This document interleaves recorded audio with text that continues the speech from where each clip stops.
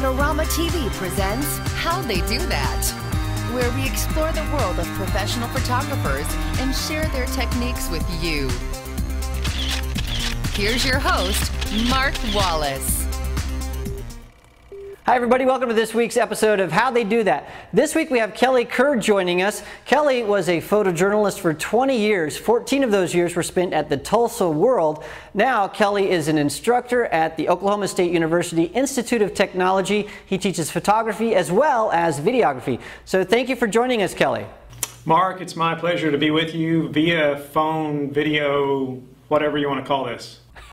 okay, yeah, it's sort of wacky. Um, so let's talk a little bit about your life as a uh, photojournalist. So you did that for 20 years. Uh, what was your everyday life like back then? Well, it was a lot of hustle and bustle, a lot of busy hours, a lot of weird hours. Uh, but when I got out of college 20 some years ago, uh, I set off on an adventure in newspaper photography. I fell in love with it and it's taken me halfway around the world, and it's been a pleasure. But it's it's really given me opportunity to do things uh, I never dreamed I would be doing. Um, I spent the last 14 or so with the Tulsa World in Tulsa, Oklahoma, and uh, during that time, I shot a lot of sports and everything from Super Bowls to Final Fours. Uh, I did 12 golf majors. And then a lot of natural disasters. If you live in Oklahoma long enough, you're going to see a few tornadoes. But I also got in on uh, my my career is kind of uh, as I look back at it was really uh, a part of uh, the war scene, uh, including Desert Storm and now the Iraqi War. I spent a, a great majority of my time uh, shooting soldiers leaving and returning from war. And as I look back, that's really been a thing that stands out as far as an aspect of my career in the media.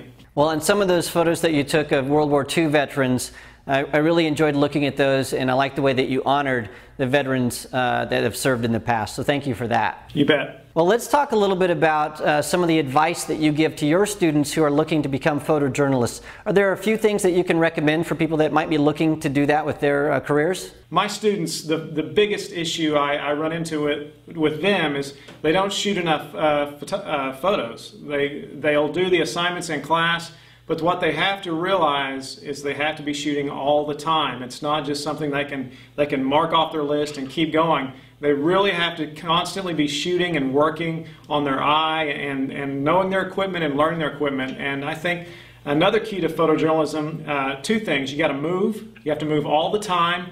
And I mean physically move with your feet. And then the second thing is you have to be watching. You have to be looking. Uh, I think one of the greatest things about photography is not necessarily the operation of the equipment or the technical side, uh, but is that you're aware of your surroundings and you're able to not only uh, capture imagery, but you're able to notice it as it as you move around inside whatever situation you get into. And a lot of people can't do that. But those people that can can master that technique of being uh, aware of their surroundings while they're working and not miss uh, maybe a moment that would occur uh, either right or left or behind you, then those people, I, I tend to see those people as being the most successful in the editorial field. Those are some really good tips. Um, in fact, a lot of times uh, I get a little bit frustrated with students that are constantly asking me about equipment and forgetting about all the other stuff, the mental exercises that you need to do. So it's really good to hear you say that. Um, well, we really want to talk to you about um, some of your work with the 5D Mark II and the 7D, and specifically the video you shot of Phil Marshall at South by Southwest at Yellow Dog Studios. Absolutely. Yellow Dog Studios was at one time located in Tulsa, Oklahoma, and I have uh, several friends that owned and operated it. Uh, and they had contacted me and said that they wanted to open up the studio during South by Southwest, which is one of the largest uh, music. I'm actually wearing the T-shirt today, by the way.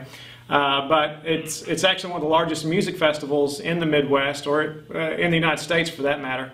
And they wanted to open up the studio all week during the day to let artists come in and track songs, and then we would offer them not only the audio track, but I would do a video of each performance, and then I would edit that together. And along with the audio track, the artist would leave with a video and an audio uh, recording of their performance. And so, talk to us about the Phil Marshall video. First of all, let's talk about um, how you shot it. Tell us what uh, equipment you used to get that video uh, made. Absolutely. Uh, I did a two camera setup. Now it was, it was fairly easy because I didn't have to worry about sound at that point. Because we were recording the audio through thousands of dollars worth of audio equipment, but I, we did shoot it on a 5D Mark II, a Canon 5D Mark II, and a Canon 7D.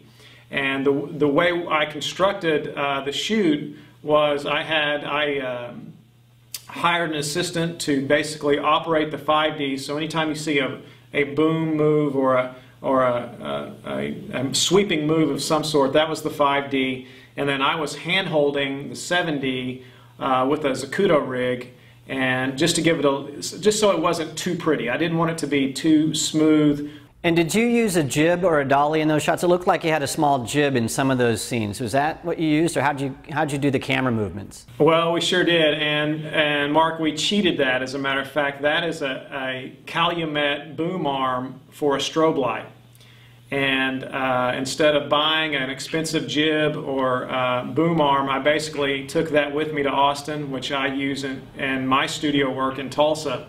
So I just took a, a, super clamp, mounted the 5D Mark II on top of the boom arm, and, and then let uh, Cabe was the young man's name. I just let him kind of move the camera around as smooth as we could get it. It wasn't perfect, but um, that's kind of the that's that's I think what kind of separates photographers when you can actually uh, do a little MacGyver work in your in your photography. You know, if you can make it work with a paperclip and some bubble gum then uh, you, you can get further down the road. Yeah, it looks really good. I like it.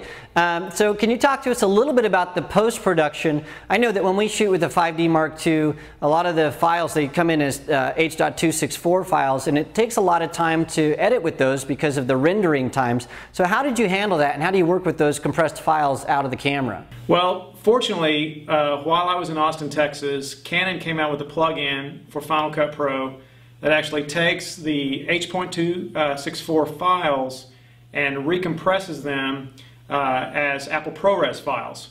So not only does that do away with rendering, it also brings your files in uh, at, at, their full resolution. So you get the full quality of the clip whenever you drop it into your timeline and, and start to work with it.